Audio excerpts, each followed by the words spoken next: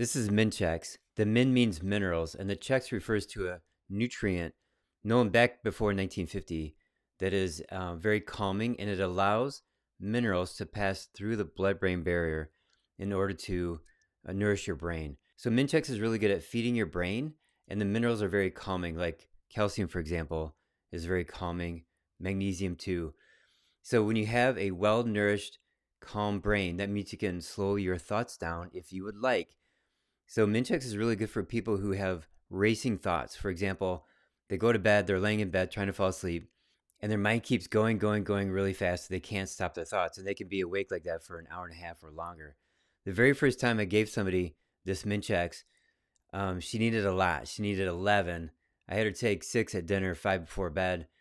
And she came back to me at the next visit and she said she fell asleep immediately. And uh, before that, she, it would take her three hours.